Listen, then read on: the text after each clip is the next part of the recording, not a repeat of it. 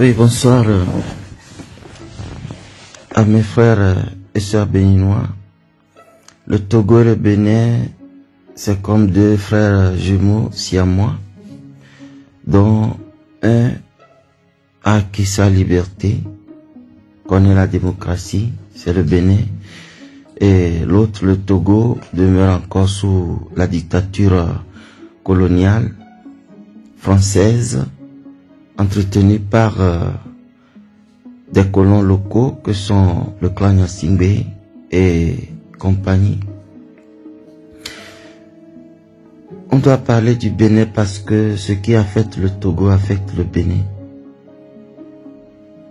Donc euh, aujourd'hui, Patrice Talon fait cinq ans au pouvoir. J'étais de ceux qui l'avaient soutenu contre Lionel Zissou, mais à un moment donné de son mandat, je me suis dressé contre lui et je suis devenu un de ses critiques. Mais au fil du temps, j'ai compris que la faute n'est pas à Patrice Talon, mais c'est aux frères béninois qui aiment trop la corruption, le désordre, la facilité et qui ne sont pas prêts de faire des efforts pour assainir le climat des affaires, le climat politique et la vie sociale en général au Bénin. Donc, euh, bon, qui est Patrice Talon C'est un génie intellectuel, un scientifique qui a accompli des études mathématiques hein, à la prestigieuse université dakaroise. Donc ce n'est pas quelqu'un ramassé dans la rue comme Yassingbe Yadema et ses rejetons illettrés qui font du n'importe quoi et qui sont prêts à faire à la lettre ce que la France veut et du Togo, non. Et Talon n'est pas celui qui cherche de l'argent devenant président. Il contrôlait à lui seul beaucoup de filières agricoles et surtout de coton au Bénin. Donc il était un multimilliardaire avant d'être président. Donc euh, c'est quelqu'un qui est capable de braver tout le monde parce que il n'ira pas demander de l'aide pour venir construire le Bénin. C'est un des gens qui pensent que l'Afrique peut s'en sortir seule si la France nous laisse la main libre. Voilà. Donc c'est un peu comme euh, un Donald Trump qui a tout avant d'être président et qui ne cherche pas à s'enrichir mais qui prenait le risque de, changer l'ordre établi. Donc euh, voilà, Talon arrivé au pouvoir a vu qu'il faut assainir euh, l'État parce qu'il y a trop de corruption. Et rappelons-nous que Mathieu Kérékou a dirigé le Bénin pendant 19-20 ans d'une main de fer, euh, sous fond d'une dictature, euh, euh, comment ça s'appelle encore, euh, communiste. Et il a été quand même patriote parce qu'il a fait échec à toute tentative de déstabilisation de la France parce que être allié de l'Union soviétique était synonyme de être ennemi de l'Occident. Donc, par exemple, l'incursion de Bob Denave a été interceptée net par euh, le commando de Mathieu Kérékou. C'est un échec cuisant pour la France et la conférence nationale que, ou bien la démocratie que la France avait initiée pour euh, semer les troupes dans les pays francophones et non pour y apporter la démocratie, avait été mise à profit par Kérékou qui a fait du Bénin l'une des premières démocraties hein, euh, de l'Afrique francophone coloniale. Donc voilà, euh, après la démocratie, les gens ont trouvé tous les noms d'oiseaux Kérékou et l'ont évincé du pouvoir. Donc il est parti, a été battu par euh, Nicéphore Soglo aux échéances électorales d'avril 94. Donc, Nicéphore Soglo a pris le pouvoir et c'est là peu de temps après les Béninois ont remarqué que Nicéphore Soglo n'est pas bon. Pourquoi? Parce que c'est un inspecteur de finances qui a un troisième œil dans tous les dossiers. Il a assaini l'État, les finances publiques. Il a lutté contre la corruption. Il a donné confiance aux investisseurs qui sont venus en grand nombre et développer, amorcer le développement du Bénin. Je me souviens que dans les années 80, bon, j'étais au cours primaire et presque chaque euh, semaine, chaque mois, On entend toujours à la radio, oui, et plus diluvienne sur le Bénin, inondation à Cotonou. Et quand on devait voir les images en blanc et noir sur TVT, c'est des Peugeot 405, Peugeot 505 qu'on voyait en moitié enfoncés dans l'eau. Hein, et vous voyez comment les Béninois eh, eh, surchargent leurs véhicules dans les transports publics. Des gens capables de déménager toute une maison avec une Peugeot 505.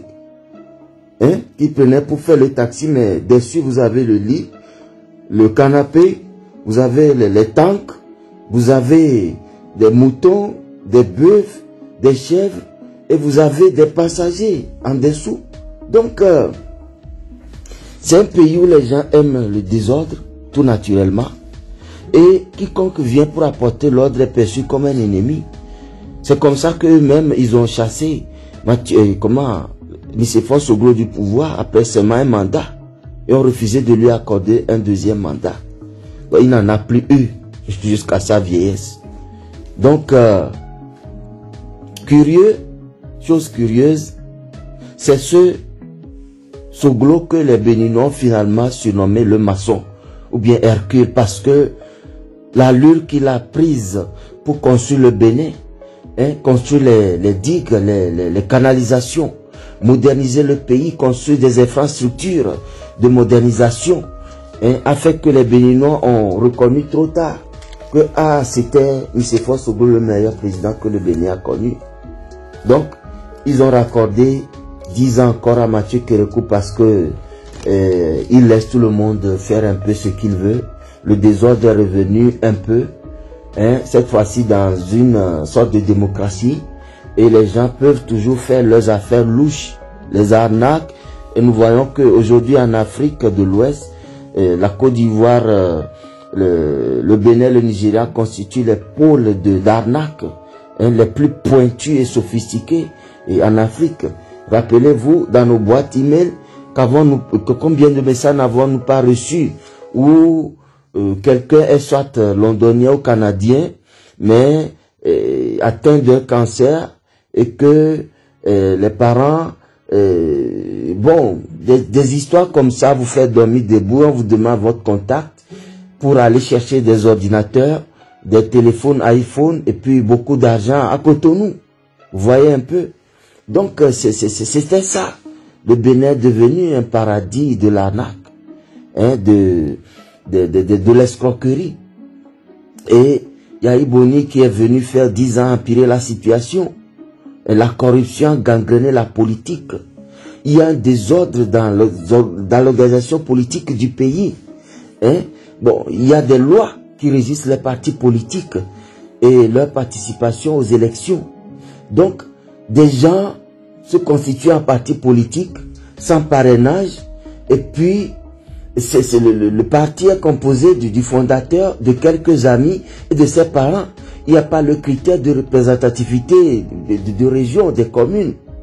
Donc, euh, euh, il y a beaucoup d'anomalies. Les gens se font élire députés sous la coupole d'un parti. Une fois arrivés au Parlement, ils désertent le parti, conservent leur fauteuil pendant plusieurs euh, mandats. Et ils refusent de la sorte de payer leur redevance à leur parti qui les a portés au Parlement ou bien aux élections communales.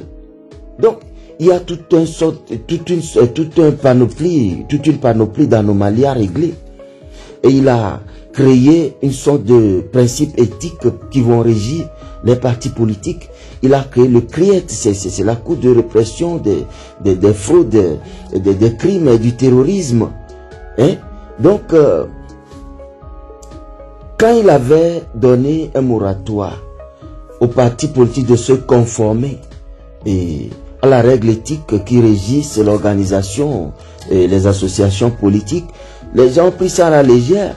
Et malheureusement, euh, le très imposant président Soglo aussi a, été tenté de rejoindre les, frondeurs hein, avec euh, Boni qui a fait dix ans sans rien faire pour le Bénin que de laisser la corruption gangréner le pays, le désordre, etc. Donc, euh, à cette allure, il y a eu répression militaire parce que les gens se sont organisés pour déstabiliser le pays depuis ce temps. Vous voyez Donc, il a fait ce qu'un chef de l'État devait faire. Et les gens lui collent étiquette de dictateur. Ok, bien sûr qu'aujourd'hui, quelques opposants sont en exil. L'exemple de Sébastien Diavon, j'ai été contre cela parce que sous Yaïboni, Patrice Talon qui a été exilé, il devait comprendre que être exilé politique n'est pas une bonne chose. Mais quelle est la motivation principale de ces opposants qui étaient derrière eux? Je ne veux leur taxer de rien, mais je veux dire que ça serait dans l'intérêt du Bénin. Si ces opposants avaient vraiment des valeurs patriotiques dans l'intérêt exclusif du Bénin seulement. Donc voilà. Et aujourd'hui, qu'est-ce qu'on peut remarquer? Patrice Talon est le premier chef d'État du Bénin et parmi, bon, après Sankara, Thomas et Sivanus Olympio, et Patrice Lumumba, Laurent Gbagbo, etc., etc. Le président équato-guinéen, euh, comment il s'appelle encore, Obiang, qui ont tenu tête à la France, qui ont dit leur désaveu du franc CFA. Patrice Talon qui a réclamé toutes les œuvres d'art euh, et culturelles volées par la France pendant la colonisation à les restituer, hein, qui ont été exposées au musée français qui rapporte des milliards d'euros à la France par an, hein, de les restituer tout simplement au Bénin. Et c'est dans un discours euh, à Paris qu'il l'a fait, hein, dans une communication conjointement avec Emmanuel Macron, une humiliation que Emmanuel Macron ne pardonnera pas. Il a écarté Bolloré hein, dans la course à la conquête du port de Cotonou. Ça, ce n'est pas rien. Et les chemins de fer qui, qui, devaient relier Cotonou à Parakou dans le Grand Nord, depuis le sud de la mer jusqu'au Grand Nord, hein, l'offre de Bolloré a été tout simplement rejetée. Ça, ce n'est pas rien. Donc pour cela, et entre autres, le Bénin n'est plus le pays qui tend la main à la France pour se développer. Donc il faut punir Talon. Il faut le punir. Et de quelle manière? C'est d'envoyer Rekia Madougou, et la femme de Fonya Singbe. Fonya Singbe est juré de la France, un élève, sinon un maître parmi le major des élèves de la France en Afrique, hein, le major des chefs d'État france-africains, francophiles, sous-préfet de la France, qu'ils appellent le jeune doyen, qui est prêt à tous les coups tordus contre son peuple, contre l'Afrique, pour que la France ait tout en Afrique. Donc c'est lui qui va manipuler Rekia Madougou, qui va vouloir déstabiliser le Bénin. Il s'agit d'imposer sa candidature pour juste participer aux élections. C'est le scénario ivoirien qu'on voulait recopier au, au Bénin. Rekia Madougou n'avait pas besoin de gagner. C'est juste d'aller aux élections et de, de s'autoproclamer.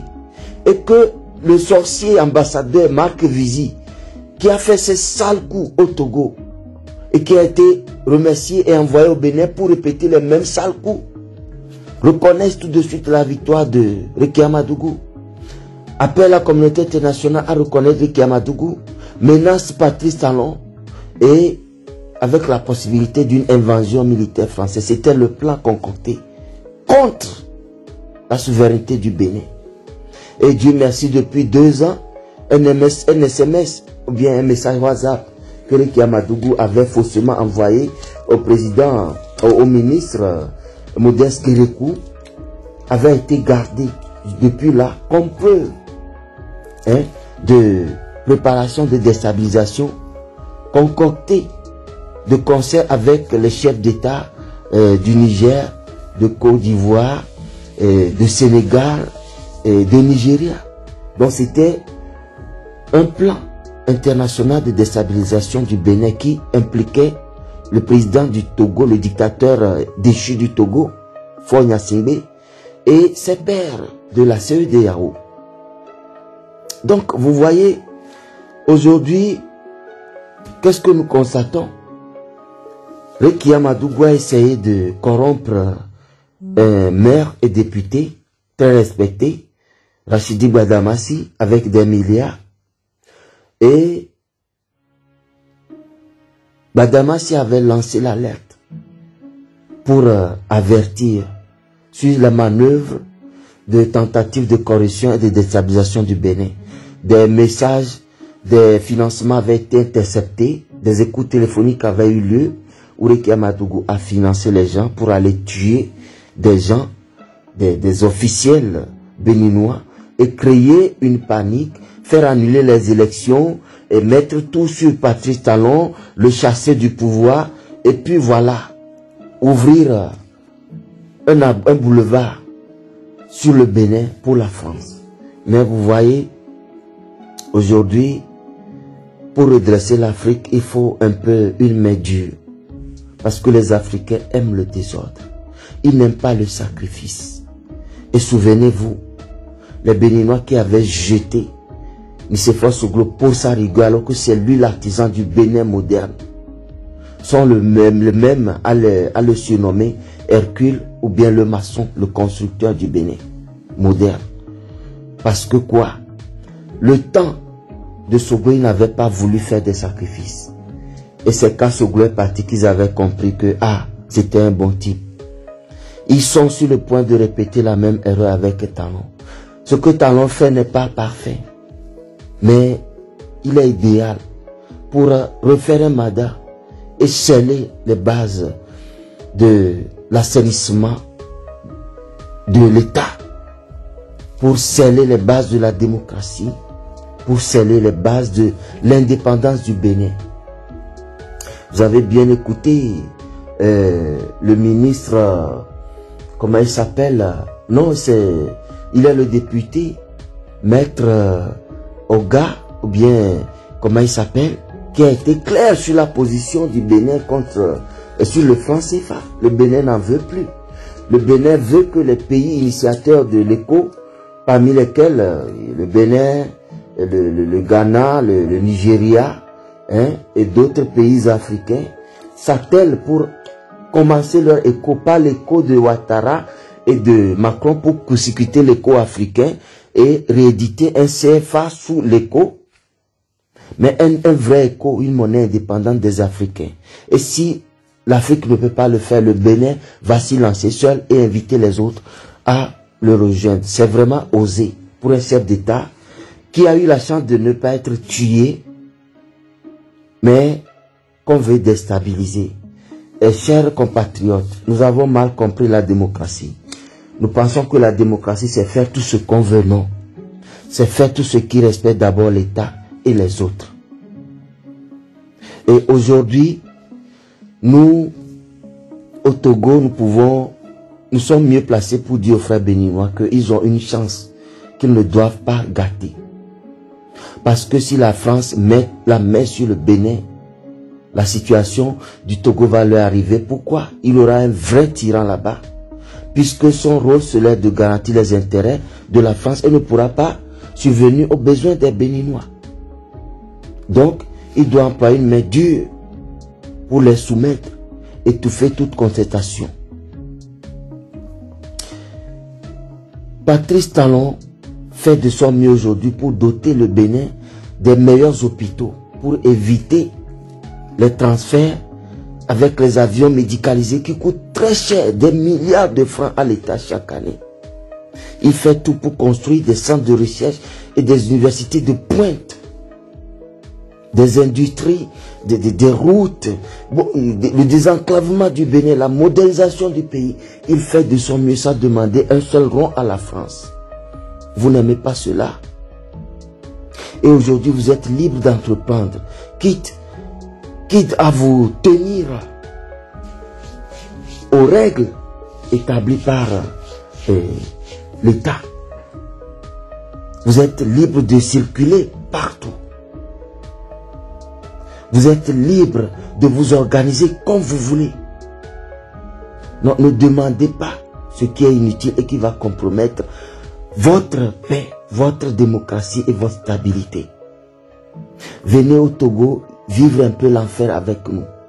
Et vous verrez que nous sommes de ceux qui réclamons que vous nous donnez votre parti talent et que vous preniez le couple diabolique Fonya Simbere qui Madougou, qui sont cautionnés par la France, et son ambassadeur Marc Vizy au Bénin, et des Béninois inconscients, apatriotiques, hein, mercenaires, financés par Fonya Singbe la France pour déstabiliser le Bénin. Il y a eu toujours des enfants, des fils et filles de l'Afrique, traîtres, qui sont prêts à détruire l'Afrique pour leurs intérêts égoïstes. Alors, mes chers compatriotes, réfléchissez bien avant d'agir. Je ne suis pas là pour vous donner quelques leçons que ce soit, mais ce que je vois et que je trouve bon pour le Bénin, je le dis, je n'oblige personne à m'écouter. Je n'oblige personne à penser comme moi. Alors, réfléchissons bien avant qu'il ne soit trop tard. Donc voilà. Aujourd'hui, c'est les élections. Peut-être Baptiste Talon va sortir un coup KO au premier tour. Peut-être il y aura un deuxième tour. Choisissez une fois encore Talon et aidez-le à faire du Bénin un pays indépendant avec sa propre monnaie, sa propre économie, sa propre organisation étatique et non qu'il soit obligé de faire partie d'un conglomérat néocolonial imposé par la France et qui appauvrit nos États, qui saigne nos États et qui rend les citoyens de nos États pauvres et esclaves pour la France. La démocratie béninoise doit vivre et continuer de vivre à la mémoire de Mathieu Kérékou et de tous les martyrs de la République du Bénin. Et que cette démocratie serve de modèle pour nous au Togo qui n'y avons jamais goûté. Donc, euh, ressaisissez-vous et que dans tout ce que vous faites, vous vous dites le Bénin d'abord, le Bénin avant tout, l'Afrique aux Africains, la France aux Français, l'Europe aux Européens. Patrice Talon est celui qui dit non à la France et que la France veut abattre à tout prix. Regardez bien l'exemple de Côte d'Ivoire, ce qu'ils ont fait à Gbagbo, qui a voulu faire de la Côte d'Ivoire un pays indépendant vis-à-vis -vis de la France et qui n'a pas réjoui la France. Je ne suis pas à même de vous raconter ce qui s'est passé en Côte d'Ivoire, notre époque, il y a dix ans de cela, que cela arrivait. Alors, que cela ne se redite pas au Bénin. Soutenez ceux qui aiment le Bénin se battent pour le Bénin. Ne soutenez pas des aventuriers. Ne vous laissez pas manipuler par euh, et la France. Et Fonya Singbe, le diable togolais derrière. Donc, euh, j'ai pensé à vous, mes frères et sœurs béninois faites attention. Pour euh, se battre et réussir, ce n'est pas dans la facilité, ce n'est pas dans le libertinage, mais c'est dans la discipline, c'est dans l'ordre, c'est dans le sacrifice. Et ce sacrifice, les frères béninois ont refusé toujours de le faire. Ils ont aimé la corruption, les entreprises parallèles, non déclarées à l'État, le détournement des impôts, ce qui appauvrit l'État et qui enrichit les particuliers. Ce n'est pas comme ça qu'on construit un pays. Vous devez à votre État. C'est dans l'assainissement que impose en quelque sorte Patrice alors que cela est possible. Vous serez fier d'avoir laissé un Bénin assaini à vos progénitures. Et vous serez fier aussi que quand le Togo n'ira pas, quand la Côte d'Ivoire n'ira pas, c'est vers le Bénin que des Togolais ou des Ivoiriens ou des Africains ou des investisseurs viendront parce que votre pays sera toujours un pays modèle que Dieu et les ancêtres veillent sur le Bénin. Et faites un choix consciencieux. Faites vraiment un choix consciencieux. Les bureaux de vote vont bientôt fermer, mais allez voter encore massivement et choisissez l'indépendance du Bénin avec euh, Patrice Talon. Bonne journée électorale à vous et que Dieu soit avec euh, vous. C'est votre frère du Togo, Jean-Paul euh, Oumolou. Écoutons une musique béninoise pour euh, finir en Federico de Campos.